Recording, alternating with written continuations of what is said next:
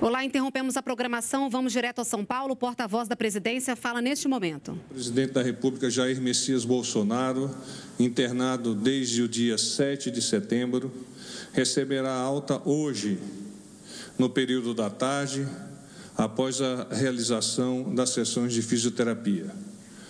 O presidente continuará a sua recuperação em domicílio, devendo seguir as orientações médicas relacionadas à dieta e atividade física, sob supervisão conjunta da equipe médica do Dr. Macedo, aqui do Hospital Vila Nova, e da equipe da Presidência da República. Assinam um boletim os doutores Antônio Luiz de Vasconcelos Macedo, cirurgião-chefe, que não se faz presente em razão de estar neste momento realizando cirurgia mas colocar-se à disposição da imprensa tão pronto a termine na sala de imprensa. Então, a previsão em torno de 11h30, vocês também terem oportunidade de com ele conversar. Seguindo-se, o doutor Leandro Etienique, clínico e cardiologista, o doutor Antônio Antonieto, que eu tenho a honra de compartilhar com ele este púlpito neste momento, que é o diretor médico do Hospital Vila Nova Star, e o doutor Ricardo Peixoto Camarinha, que é o médico da Presidência da República. Visto isso, coloco-me à disposição, ou no, nos colocamos à disposição para, para perguntas. É, bom dia, Dimitrios Dantas, Como Jornal vai, Globo. Tudo bem? Tudo bom? É, duas dúvidas. É, a nota fala que ele vai ficar em domicílio. Eu queria saber se ele, ele já volta hoje mesmo para Brasília. E em relação à viagem para Nova York, se, se a viagem fosse feita, por exemplo, amanhã, ele já estaria liberado para essa viagem internacional também. Então, vamos, em complemento ao boletim, eu gostaria de vos informar que nós vamos estender o período de, de interinidade do, do vice-presidente General Mourão por mais dois dias. Ou seja, amanhã e depois de amanhã, o, a presidência da República em exercício estará sob o condão do general Mourão. Então, é uma orientação médica acolhida pelo senhor presidente na plenitude. Razão pela qual, então, ele permanece ah, ausente das decisões diretamente envolvidas com o Poder Executivo. Você fez uma outra pergunta, desculpe. É, se ele vai, já, já volta hoje para Brasília? É, é, assim, a previsão de retorno para Brasília é hoje. E, não, a questão de Nova York também. Se... Nova York se mantém e há é, um adiamento da partida do dia 22 para o dia 23. Então, nós vamos decolar agora, pelo novo planejamento, no dia 23 com retorno na mesma data, ou seja, o presidente colocando-se sob as orientações da equipe médica para manter-se é, capacitado a exercer na plenitude o poder executivo e representar o Estado brasileiro fora, mas ao mesmo tempo entendendo as necessidades de adequar-se a eventuais limitações. É, bom dia, porta-voz. É Sônia Blota, TV Bandeirantes. Tudo bom, Sônia? Tudo bem. É, quando ele fizer esse tratamento, a fisioterapia e a alimentação permanecem. Isso vai se perdurar? O doutor Macedo falou por quanto tempo? Se, por exemplo, para Nova York, no dia 23, ele já vai. Ele também tem que manter os exercícios no hotel onde vai, ele vai estar, a alimentação, enfim, continuar um pouco o que ele já começou a fazer aqui no hospital. Sim, o doutor Macedo haverá de, de, de, promover as orientações para a equipe médica da presidência, incluindo aquelas que deverão ser atendidas lá em Nova York.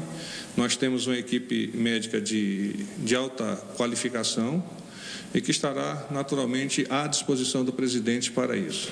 Eu não sei exatamente quais são os detalhes técnicos e esses detalhes estarão é, disponíveis para vocês às 11h30, quando o doutor Macedo é, estiver disponível lá na sala de imprensas. Bom dia, porta-voz. Ricardo Ferraz, TV Brasil. Tudo bom, Ricardo? Tudo bom. É, eu gostaria de saber se o senhor poderia dar um quadro clínico um, que dê conta da situação que possibilitou essa alta e uma segunda pergunta é se o, esse desejo foi um desejo externado pelo presidente Bolsonaro de voltar a Brasília o mais rápido possível. Eu gostaria de. Bom dia. É, o doutor Macedo poderá depois dar mais detalhes, tá bem? Mas só em, em, citando ainda o, o, próprio boletim, ele veio com a melhora progressiva, foi aceitando alimentação oral, a alimentação parenteral foi retirada, portanto, foi a evolução que se esperava mesmo que tivesse para o tipo de cirurgia. E os cuidados devem se manter, como todos sabem, quando tem alta, os cuidados de, de alimentação, de fisioterapia devem permanecer quando ele sair do hospital. E assim vai acontecer. Desejo do porta-voz, desejo do presidente do porta-voz. Uma pessoa que passa é, cerca de oito, nove dias no hospital, tem desejo natural de retornar à sua casa para o convívio dos seus familiares mais próximos, e é o desejo naturalmente do senhor presidente da República.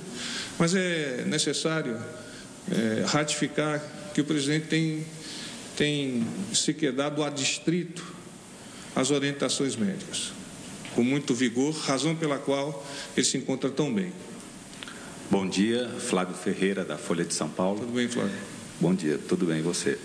É, gostaria de perguntar se a viagem à Ásia, em outubro, que estava prevista para Japão, China, Emirados Árabes, Catar e Arábia Saudita, é, está mantida e se a ideia é que essa viagem seja realizada nos últimos 10 dias de outubro. Há um, uma previsão, eu, eu não tenho exatamente aqui como te afiançar a data exata da nossa partida, mas sim são esses países num, num périplo onde nós vamos iniciar pelo Japão, depois vamos seguindo em direção aqui a oeste, China e os países do Oriente Médio. Então é uma viagem longa de cerca de 10 dias. Então os países estão mantidos, só falta acertar então a data. Sim, não, a, a, data está mantida. Eu não quero te adiantar, poder correria é, o erro, poderia incorrer no erro de, de, de errá-la aqui. Mas a data é final de outubro. Muito obrigado. Bom dia, Isabela da Globo News. Tudo bom, Isabela? É, eu queria entender um pouco como é que vai ser essa dinâmica da viagem do presidente, já que ele iria e voltaria no mesmo dia, isso? É, Você está falando Nova York? Isso, para Nova York. É, como se configuraria Nós isso? Nós vamos no dia 23. Estávamos previsto inicialmente para o dia 22, agora nós vamos no dia 23.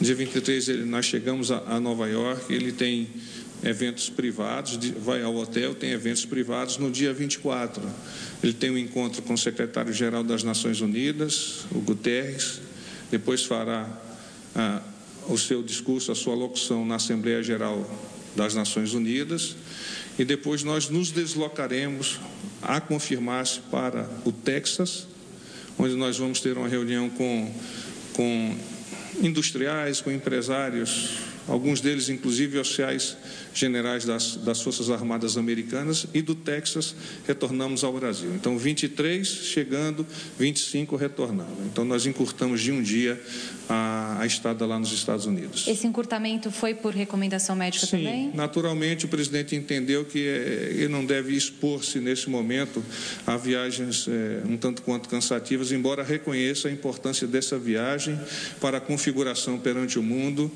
é, da soberania do Brasil, da importância que nós atribuímos à Amazônia e tantos outros temas que vicejam e que equivocadamente são, são comprados, são compartilhados, em particular pela imprensa estrangeira. Só, só, uma pergunta para o médico em relação, doutor, só para a gente esclarecer que no domingo a gente acompanhou que o presidente começou com uma alimentação cremosa e que haveria uma expectativa para que isso passasse para uma dieta pastosa. Qual que está a dieta hoje do presidente e qual que vai ser o prosseguimento disso? Vai permanecer com dieta cremosa, sem necessidade de alimentação parenteral. E a evolução da dieta vai ser dada conforme ele vai se recuperando em domicílio. A cremosa é uma questão mesmo médica, seria médica. É, sopas não. ainda, ele ainda não passou para alimentos mais sólidos Pastosa mesmo. não, é só cremosa mesmo. A, a seguinte seria pastosa, né? Ele tá ainda vai permanecer com a cremosa. Bom dia, Giovana Risado da Record TV. Eu queria só voltar um pouquinho em relação ao detalhamento de hoje. Como é que deve ser essa alta? Como é que a equipe está se preparando para isso? Em que horário isso deve acontecer também? O horário nós não, não podemos é, adiantar para vocês. Naturalmente vocês entendem por quê. Uhum. Ele vai é, realizar uma fisioterapia no período da tarde, está disposto, está conversando. É, o doutor Macedo e a equipe ainda terá contato com ele. A dinâmica é a dinâmica normal de viagem, com, com segurança, comboio, vamos à, base aérea, de lá ele deslocar-se para Brasília. Não sei se consegui concluir. Acho que também algumas coisas eu não posso, na verdade, adiantar. Ok. General, o senhor tinha falado da possibilidade da equipe médica se deslocar para Brasília para um retorno daqui Sim. a três, quatro dias. Isso já está agendado? Esta, a previsão inicial é da equipe deslocar-se para Brasília na sexta-feira. E a ideia é de que o atendimento ao senhor presidente seja feito na unidade da Redidor de Brasília. Isso nós vamos ajustar com a equipe médica. Então, as condições são semelhantes a este hospital e o presidente também estará já na ocasião com uma mobilidade eh, maior, mais facilitada, a equipe, então, com toda é, fidalguia, deslocar-se lá para Brasília para fazer esta visita médica anterior à viagem. É, general, é, voltando um pouquinho à Assembleia da ONU, então, depois do discurso, os senhores partem para o Texas, é isso? Sim, há uma previsão de decolagem para o Texas no dia 25 ah, no dia 25. Dia 25. E no próprio do Texas retornam ao retornamos ao Brasil. É Dallas? Não sei. Tá. Uh, Porta-voz, bom dia. Aqui é o Yander, da Agência Estado. Eu queria perguntar em relação à interinidade do vice-presidente Hamilton Mourão, que foi adiada por mais dois dias. Sim. O senhor falou que foi por uma orientação médica.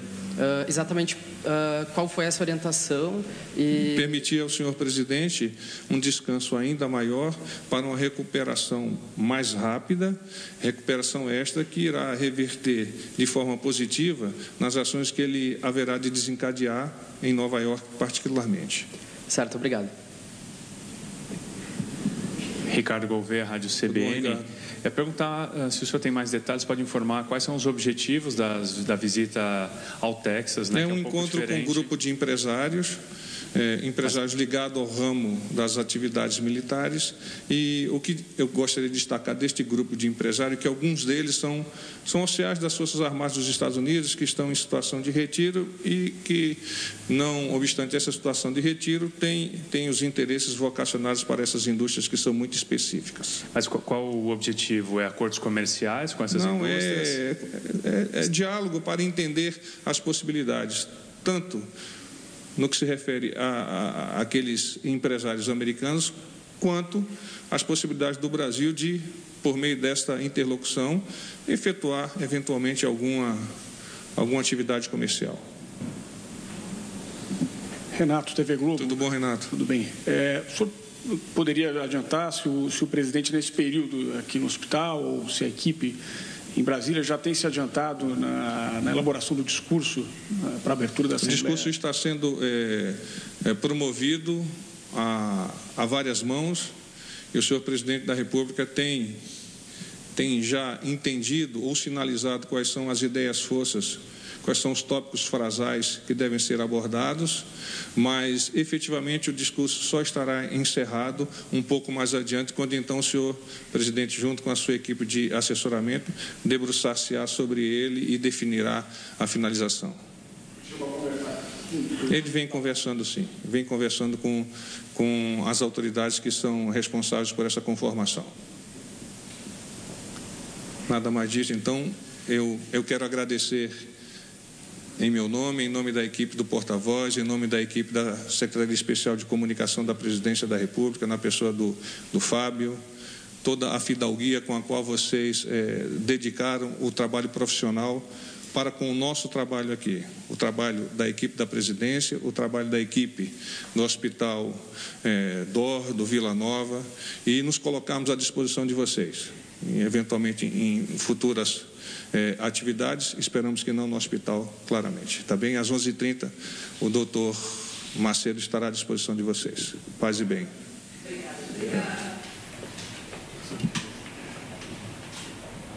Essas foram as informações do porta-voz da Presidência da República. Segundo Otávio Rego Barros, o presidente Jair Bolsonaro terá alta hoje à tarde e ainda nesta segunda-feira o presidente retorna a Brasília. Continue agora com a programação da TV Brasil.